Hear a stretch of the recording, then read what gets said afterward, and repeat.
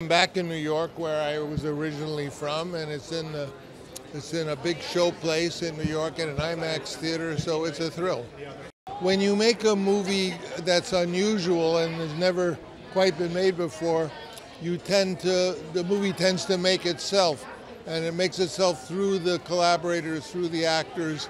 All of you are asking, well, let's do more of that. No, let's do more of that, and little by little it makes itself.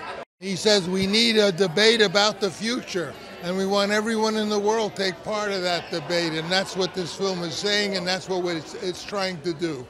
I was working on really just understanding what kind of style I might have, and before I came to the idea to want to do an, a, a Roman epic with America as modern day Rome. He um, is a very unconventional director and he shoots in a very unconventional way. His process is very unconventional, his casting is very unconventional.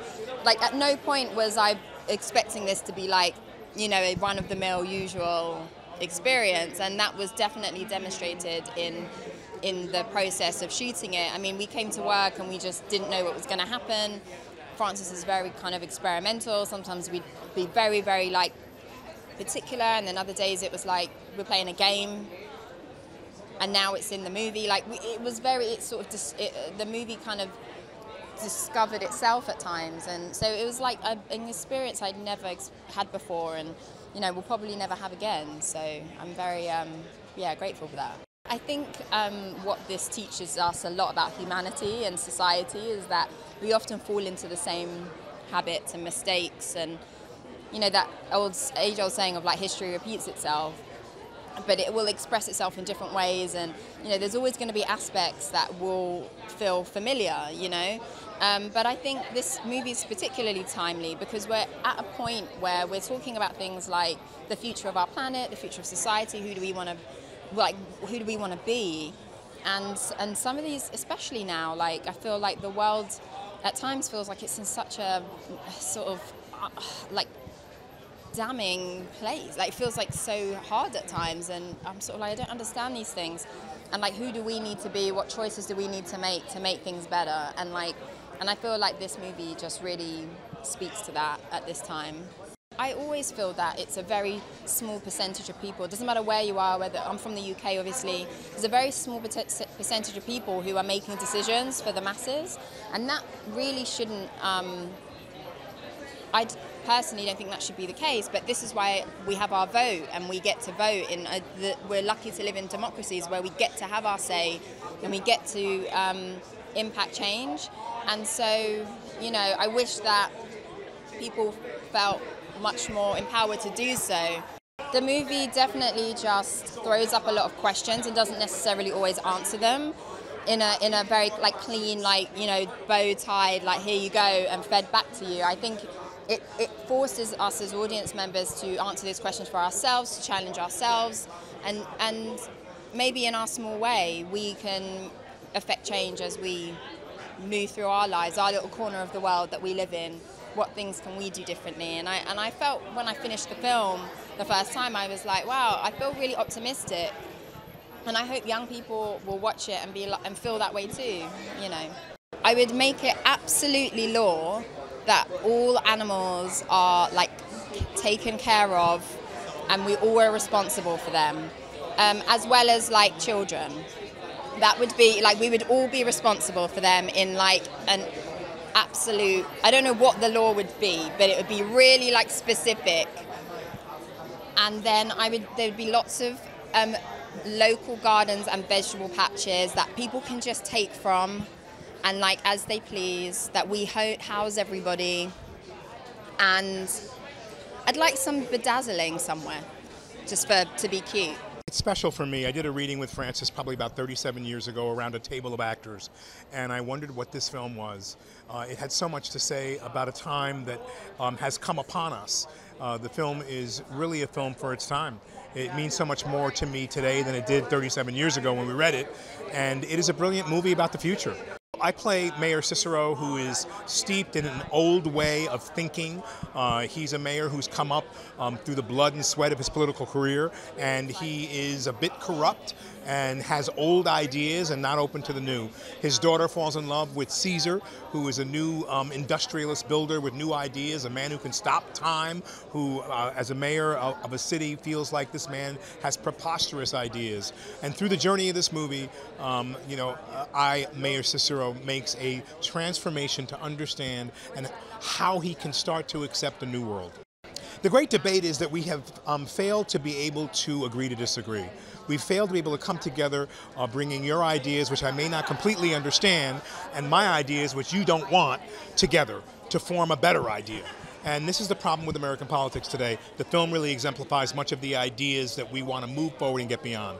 What are we doing here? We're experimenting. What do you want? Well, I'm finding out what I want on this day. Other days you come in, he's texting me at 4 o'clock in the morning, 5 o'clock, 6 o'clock in the morning with an idea, an idea that spurns a thought. So by the time I get to the set, I have something new to offer that both of us didn't expect.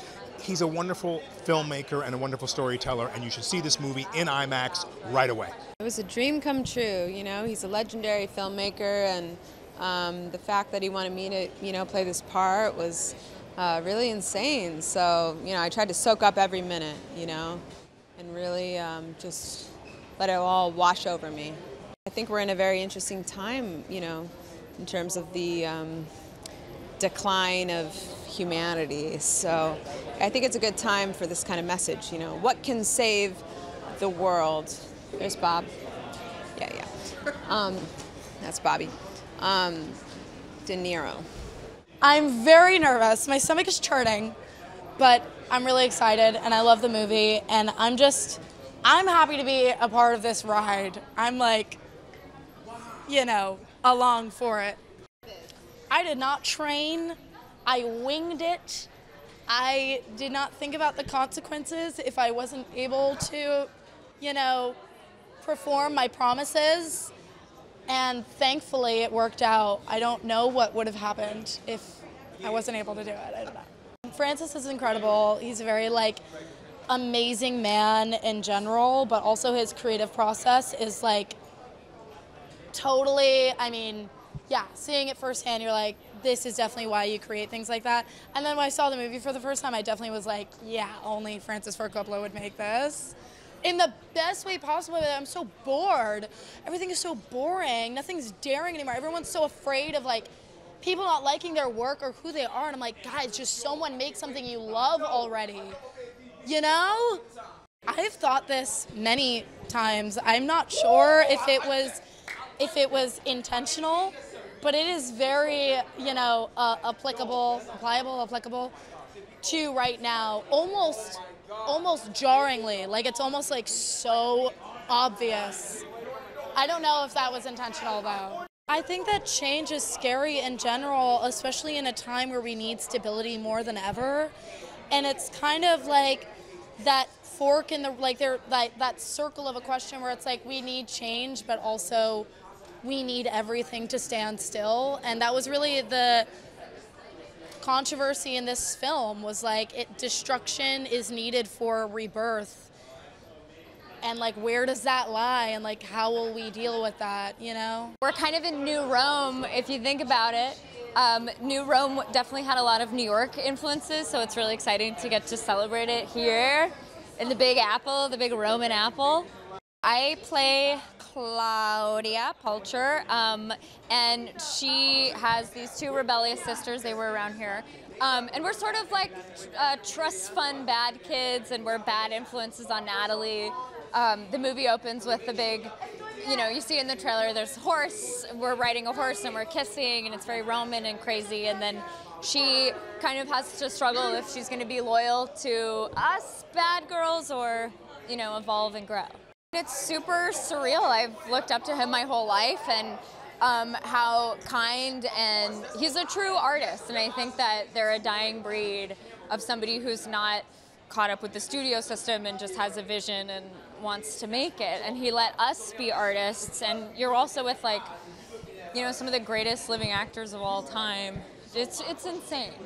I hope that it inspires people to take risks and to have your voice and just make the art you want to make. I think that like you know, the industry's gone through so many changes, and I, I even deal with this on SNL. You know, it's like there's so many rules and and like a playbook we all think we have to play, but Francis and this movie is just like just make what you want to make, and and there's an audience there.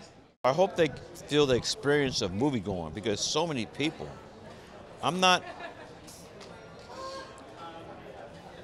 watching movies on this. Look, all right, I'm old, but there's nothing replaces your widescreen TV in the basement ain't gonna re- replace seeing this film in IMAX.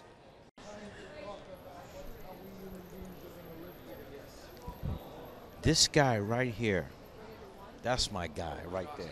Francis Ford Coppola. Francis.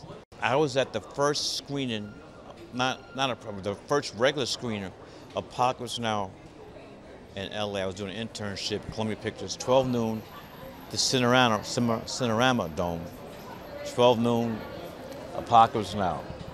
That was, I mean, them helicopters, I'm like, where the fuck is them? Where the helicopter go? Like helicopters flying over your head with the, the sound design. It was amazing. I've been very lucky to, to work with Francis, Godfather II. So I remember Francis, uh, I was aware of it at least 30, maybe 35 years ago, maybe even longer. He was always talking about it. And then I, I went to, uh, we had a reading somewhere in a studio in Brooklyn, not a studio, but a, a loft studio type thing, um, with Paul Newman and Uma Thurman, and I'm forgetting who else. But so he's, he was working on it for a long time. I forget then how it changed from what I just saw today. Excuse me. Um, but it, it, you know, obviously it was something that Francis had been wanting to do, working on for a long time in his head, blah blah blah. You know,